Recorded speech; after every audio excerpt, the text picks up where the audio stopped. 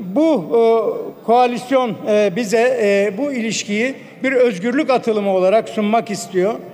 Bir ittifak olanağının sağlanması olarak bunu bize sunuyor.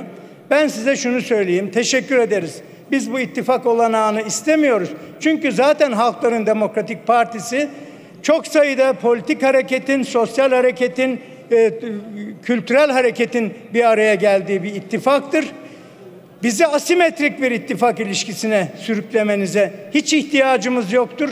Biz halkın ittifakının bu seçimlerde gerçekleşeceğini biliyoruz.